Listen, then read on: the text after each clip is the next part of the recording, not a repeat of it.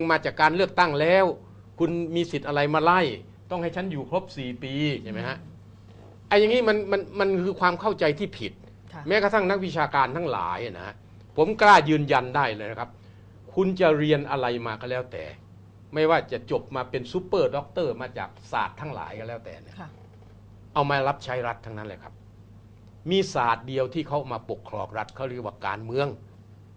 ศาสตร์ทางการเมืองเป็นศิลปะนะฮะ มันสูงส่งกว่าศาสตร์ธรรมดาศิลปศาสตร์เนี่ยเพราะนั้นมันถึงขั้นประยุกต์ใช้เพื่อให้เกิดความชัดเจนถูกต้อง เพราะฉะนั้นการปกครองจึงเป็นศาสตร์ที่มีศิลปะสูงและ art of war ไงฮะค่ะเพราะฉะนั้นผมกราบเรียนได้เลยครับว่า เมื่อการเมืองผิดทุกอย่างมันผิดหมดเลยอืมนะฮะเพราะฉะนั้นเราเราเปลี่ยนบุคคลโทษนะฮะมันเลวกันมาหนักขนาดขายชาติบ้านเมืองขนาดเนี้ยสมมุติว่าเปลี่ยนคนนี้ไปค่ะคนมาคนคนมาข้างหน้า ถ้าอยู่ใน ในคลองคดเดินเดิมอยู่เนี่ยอาจจะเลวหนักกว่าคนเดิมก็ได้ใช่ไหมฮะค่ะเพราะฉะนั้นเพื่อเป็นหลักประกันเนี่ยเขาถึงต้องสร้างระบอบการเมืองที่ถูกต้องเขาเรียกว่าเปลี่ยนระบอบที่เป็นคลองคดคือระบอบเผด็จการเนี่ยมาทำลายชาติบ้านเมือง ถูกทำลายมา 80 ปีเนี่ยนะฮะสมัยก่อนนี้ต้องพูดกันตรงๆ สมัยที่พระบาทสมเด็จพระเจ้าอยู่หัวรัชกาลที่ห้าเห็นไหมฮะท่านใช้ยุทธศาสตร์ ยุทธวิธีในการ ปฏิรูปประเทศเนี่ยปฏิรูปการปกครองเขาเรียกว่าปฏิรูปการปกครองทำไมท่านปฏิรูปได้ เพราะอำนาจสมบูรณาญาสิทธิราชมันเป็นของท่านเองนั่นเรียกว่ายุคกลางนะฮะเมื่ออำนาจเป็นของท่านท่านก็ปฏิรูปได้ใช่ไหมฮะวันนี้อำนาจมันไม่ได้อยู่ในมือของสถาบันพระมหากษัตริย์เนี่ยมันไปอยู่ที่เผด็จการรัฐสภาเนี่ยเห็นไหมฮะและไม่ได้อยู่ในมือของประชาชนด้วย เพราะฉะนั้นมันจึงไปปฏิรูปอะไรไม่ได้เลยเห็นไหมฮะขนาดบอกว่าผิดกฎหมายมันยังบอกเอ้ย เอาหลักฐานมาดูสิแล้วหาใบเสร็จไม่ได้ก็คุณอย่ามาพูดเลย คุณเขาเรียกว่าอะไรฮะมันก็เอาข้างเขาถูกันทั้งนั้นแหละครับค่ะฝ่ายค้านก็บอกผมรับผิดชอบ แล้วผมจะเอาไปพูดในสภา พูดแล้วบอกยังไงยกทั้งมือทั้งเท้าก็ยังสู้ฝ่ายรัฐบาลไม่ได้ เห็นไหมครับว่า ประชาชนเขาพึ่งสภาไม่ได้ เพราะมันเป็นสภาเผด็จการ มันไม่ใช่สภาของประชาชนค่ะอะไรมันทำให้สภามันเป็นเผด็จการ เพราะสิ่งที่เอามาปกครองอยู่น่ะมันเป็นเผด็จการฮะเขาเรียกว่าระบอบเผด็จการ มันจึงไปเป็นของคนส่วนน้อย วันนี้กลุ่มทุนทั้งหลายเนี่ยมันแย่งอำนาจการปกครองกันแล้วต้องพูดตรงๆ เห็นไหมฮะอยู่ภายหลังข้างหลังนักการเมืองทั้งนั้นพรรคการเมืองทั้งนั้น แย่งอำนาจการปกครองอันนี้ต้องพูดตรงๆ อย่ากลัว อย่าโกรธ ความจริงต้องพิสูจน์กันให้มันเป็นด้วยหลักการจริงๆ ด้วยเหตุผลจริง ๆ วันนี้มันถึงมีราษฎรอย่าว่าแต่ไอ้องค์การพิทักษ์สยามนะฮะค่ะเยอะแยะเลยที่เขาเขาออกมามีการเคลื่อนไหวเพื่อจะรวมกันเนี่ยนะ ผมกราบเรียนอย่างนี้เลยนะครับว่า รัฐบาลเนี่ย ดูพอเป็นฝ่ายค้านดูก้าวหน้านะพอมาเป็นรัฐบาลแล้วล้าหลังทุกคนนะค่ะใครที่ไปหนุนรัฐบาลที่ทำผิดเนี่ยฮะไม่สำเร็จหรอกครับ ไม่สำเร็จนะรัฐบาลที่ทำความผิด เห็นเมื่อไหร่ฮะหนึ่งโกหกสองโกงอืมอันนี้เป็นเรื่องใหญ่มากครับเพราะมันทำลายชาติบ้านเมือง ระบบเผด็จการรัฐสภาต่างหากนะครับ ที่ทำให้ชาติบ้านเมืองเกิดอะไรขึ้นขนาดนี้หนึ่งแตกแยกค่ะความสามัคคีในคนในชาตินี่ไม่มีแล้ว แตกมาพระในวัดยังแบ่งข้างเลยใช่ไหมฮะอืมครูในโรงเรียนแบ่งข้าง สามีไปทางลูกไปทางภรรยาไปทางทะเลาะกันในครอบครัว เพราะอะไรเขาขาดความเข้าใจฮะค่ะเพราะฉะนั้นใครสามารถอธิบายทุกอย่างให้เกิดความเข้าใจกับมหาชนได้ค่ะ เราจะพาประเทศไทยไปได้ และต้องสามารถอธิบายได้เลยว่า ไอ้ที่มันเป็นปัญหาพื้นฐานจริงๆนะมันคืออะไร คือปัญหาทางความคิด การเมืองก็เรื่องความคิดนั่นแหละครับ เมื่อมีความคิดความเห็นที่ไม่ถูกต้องแล้วเนี่ยมันก็จะนำพาประเทศไปสู่หายนะ เกิดเผด็จการเผด็จการนี่คืออะไรฮะเอาประโยชน์เนี่ยค่ะทุนนี่ครับไม่ว่าจะเป็นทุนใหญ่ทุนเล็กขูดรีดทั้งนั้นแหละครับอืมทุนมีประโยชน์ไหมครับ มันคู่กับมนุษย์คู่กับสังคมคู่กับชาติ ไม่มีทุนมันก็ไปพัฒนาสังคมไม่ได้ค่ะนะทำไมเขาถึงมีลัทธิการเมืองเกิดขึ้นทำไมเขาถึงมีลัทธิประชาธิปไตยทุนถ้าอยู่ลัทธิทุนมันเกิดขึ้นมาก่อนนะฮะค่ะจนทำให้เกิดการปฏิวัติอุตสาหกรรม และเปลี่ยนโลกจากยุคกลางมาเป็นยุคใหม่เนี่ยอืมถ้าทุนเนี่ยนะไปขึ้นอยู่กับเผด็จการเนี่ยมันก็กำไรอย่างเดียวนะเพราะเผด็จการพูดกับคนไม่กี่คนใช่ไหมครับค่ะเพราะฉะนั้นเขาถึงสร้างระบอบการเมืองขึ้นมาเรียกว่าระบอบประชาธิปไตยเนี่ยซึ่งอำนาจเป็นของประชาชนทั้งหมด ไปคุมทุนไว้ไม่ให้ขูดรีดอย่างไม่เป็นธรรมใช่ไหมฮะในขณะเดียวกันก็ไปยึดเอาของเขาก็ไม่ได้ มันจะไม่มีการพัฒนาค่ะที่สุดแล้วที่ไปทำลายทุนเลยคือคอมมิวนิสต์ใช่ไหมฮะคอมมิวนิสต์เขาทำลายทุนเลย กรรมกรไม่ทำลายทุนเลย เพราะฉะนั้นลัทธิการเมืองที่เกิดขึ้นถ้าลัทธิประชาธิปไตยเป็นลัทธิของคนชั้นกลาง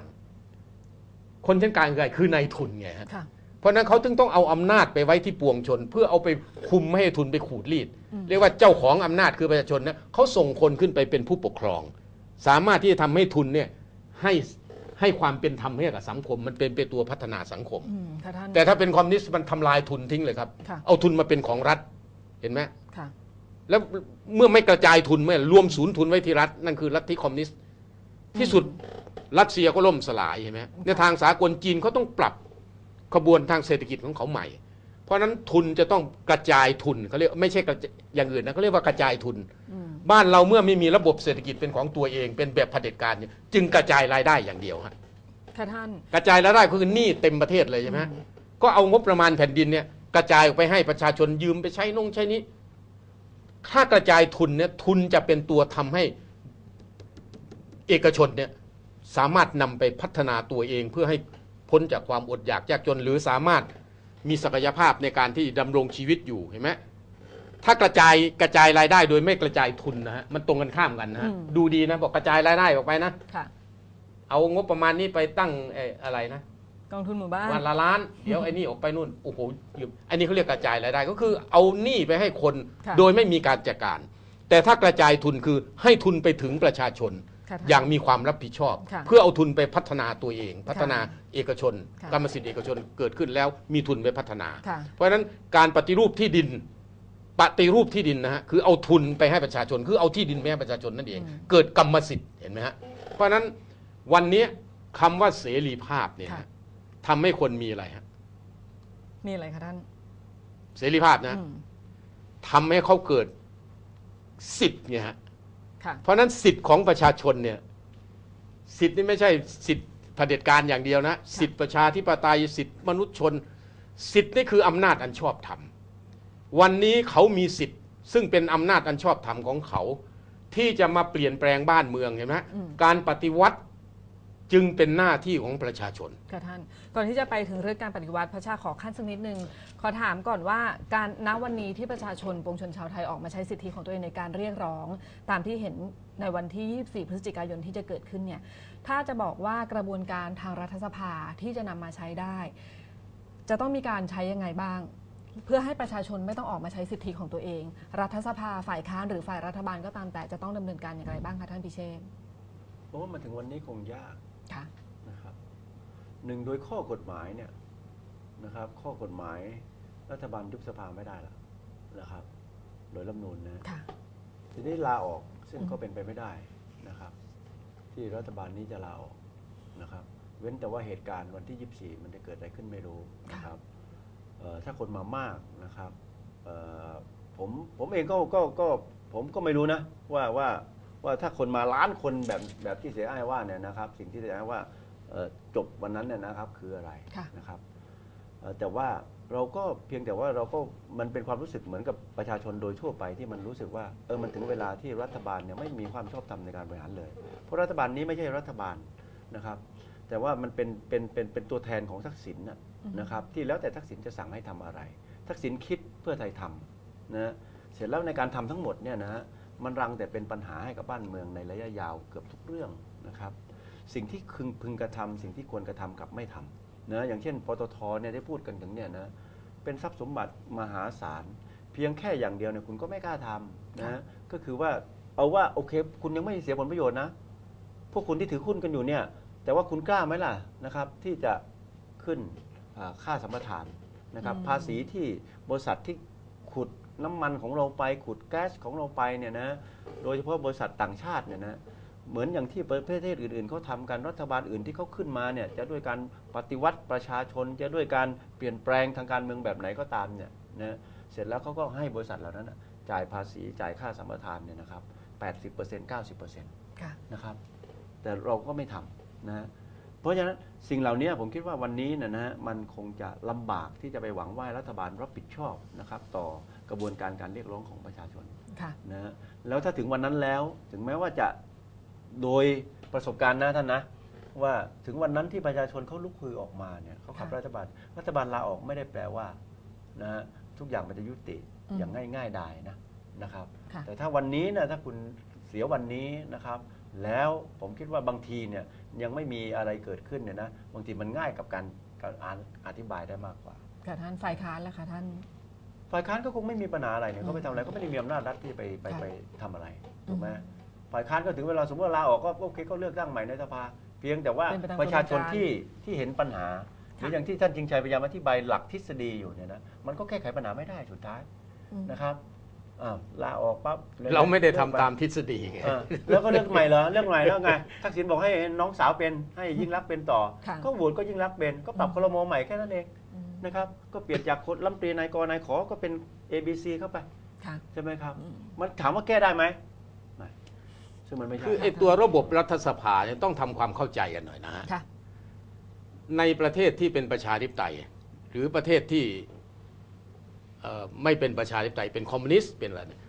คำว่ารัฐสภาเนี่ยคือสภาคู่กับรัฐนั่นแหละฮะค่ะ เรียกไม่เหมือนกันนะเช่นประประเทศจีนก็มีสภาประชาชนเห็นไหมอืมอเมริกาก็มี สภาสูงอะไรเรียกว่าซีเนเตอร์อะไรอย่างเงี้ยค่ะสภาผู้แทนราษฎร อังกฤษก็มีเอ่อวุฒิสภา มีสภาผู้แทนราษฎร คือระบบรัฐสภาเนี่ยมันหมายความว่าสภาเป็นผู้ถือดุลค่ะนะฮะเป็นรูปการปกครองนะฮะระบบประธานาธิบดีก็เป็นรูปการปกครองนะหลักการปกครองคือระบอบประชาธิปไตยเนี่ยรูปการปกครองมันต่างกันนะฮะประเทศที่เป็นเป็นราชอาณาจักรเป็นคิงดอมเนี่ยนะฮะ มีพระมหากษัตริย์เป็นประมุขแห่งรัฐเนี่ยรูปการปกครองเขาเป็นระบบรัฐสภา ใช้ที่ประเทศอังกฤษเป็นประเทศแรกนะฮะระบบเอ่อสาธารณรัฐเนี่ยรีพับลิกเนี่ยประเทศอเมริกาเป็นประเทศที่ตั้งประเทศโดยไม่ไม่ไม่ใช่สถาบันกษัตริย์ เป็นชาวบ้านเขามารวมกันตั้งเป็นรัฐๆขึ้นมาเนี่ยนะฮะค่ะเป็นอเมริกาขึ้นมาเนี่ยเขาสร้างระบบใหม่ขึ้นมา เพราะว่าประเทศเขาไม่ไม่ได้มีการปกครองแบบ เป็นระบบคิงดอมนะฮะไอ้ค่ะเป็นรูปประเทศไอ้แบบสาธารไอ้ราชอาณาจักรสหราชอาณาจักรเขาจึงสร้างระบบใหม่ขึ้นมา เรียกว่าระบบประธานาธิบดีค่ะอ่าฝรั่งเศสเป็นระบบประธานาธิบดีกึ่งรัฐสภา อืมทั้งหมดเนี่ย มาอธิบายอย่างนี้ครับว่า ระบบรัฐสภาเป็นระบบรวมอำนาจฮะ ค่ะ ประชาชนเลือกผู้แทนราษฎรไป ผู้แทนราษฎรนั่นแหละครับ สภา รัฐสภาและถือดุลอำนาจ ทั้งฝ่ายบริหารและฝ่ายนิติบัญญัติมันอยู่ด้วยกันค่ะ มันอยู่ด้วยกันนะฮะแต่ระบบประธานาธิบดีเนี่ยมันแยกอำนาจเห็นไหมฮะอืมสภาเนี่ยไม่ได้ไปตั้งให้มีรัฐบาลนะสภาประธานาธิบดีได้รับการเลือกตั้งโดยตรงจากประชาชนเป็นประมุขประเทศ ค่ะ และเป็นผู้บริหารประเทศ ประธานาธิบดีเป็นผู้บริหารโดยตรงด้วย ค่ะ เขาจึงตั้งคณะรัฐมนตรีของเขาก็เรียกว่าอะไรก็แล้วแต่อืมก็เอามาเป็นผู้บริหาร ค่ะเขาตั้งได้เขาปลดประธาได้นาธิบดีเป็นผู้ตั้งอืมสภาไปควบคุมเขาโดย ระบบกรรมาธิการค่ะส่วนระบบระบบรัฐสภาเนี่ยนิติบัญญัติกับบริหารไอ้บริหารอยู่ด้วยกันเลยเพราะอยู่ในผู้แทนด้วยกันเห็นไหมฮะสภาเกิดอะไรขึ้นครับ ประเทศไทยเนี่ยระบบสภาเรามั่ว ไปใช้แบบไอ้สาธารณรัฐมาครึ่งหนึ่งค่ะโทษถามว่า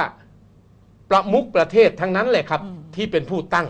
ผู้บริหารค่ะเนี่ยนะพระเจ้าแผ่นดินอังกฤษคือควีนอลิซาเบธเนี่ย โดยเขาไม่มีรัฐธรรมนูญเนี่ยค่ะเขาใช้จารีตประเพณีของระบบระบอบประชาธิปไตยระบบรัฐสภาของเขาเนี่ยบางทีท่านก็ไม่ได้ตั้งคนในสภานะ ดูมันขัดแย้งกันเขาก็ตั้งคนนอกมาก็ได้ ค่ะ เขาไม่ได้มีประเทศไหนเราเขียนว่า นายกต้องมาจากการเลือกตั้งไม่มี ไม่มีฮะนายกมาจากการเลือกตั้งไม่มี มีแต่มั่วมั่วๆเขียนเอากันเองเท่านั้นแหละครับ